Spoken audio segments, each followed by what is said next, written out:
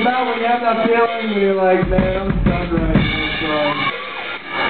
Is anyone else here done writing love songs? couple of them. I got a couple. No more love songs, alright?